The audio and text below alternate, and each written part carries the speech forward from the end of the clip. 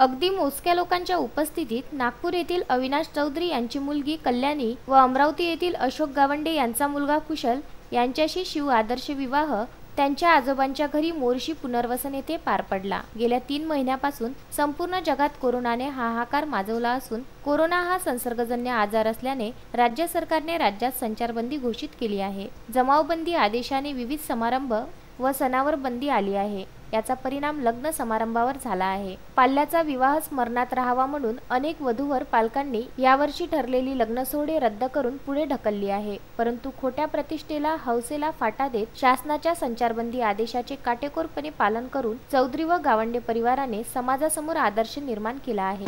समारंभ आम्ही सोहळा पार पाडतोय. ज्यामध्ये आम्ही कुठल्याही पद्धतीचं सोशल डिस्टन्सिंग किंवा कोरोना व्हायरलला घेऊन आम्ही कुठल्याही पद्धतीने अवैधता न पाडता सगळे नियमांमध्येही करून आम्ही लग्नाचा सोहळा पार पाडतोय. की आम्ही आमचा विवाह सोहळा पार पाडला आहे. यामध्ये कोणताही प्रकारचं उल्लंघन न करता आम्ही हा विवाह सोहळा डिस सोशल डिस्टन्सिंग ठेवून पार पाडण्यात आला. यावेळी नगरसेवक हर्षल चौधरी यांनी वधूवरास मास्क व सॅनिटायझर भेट दिली. अशा आगळ्या वेगळ्या पद्धतीने संपन्न झालेल्या विवाहाचे सर्वत्र कौतुक होत असून परिसरात एकच चर्चा आहे एक विवाह ऐसा भी संजय गारपवार विदर्भ न्यूज मोर्शी.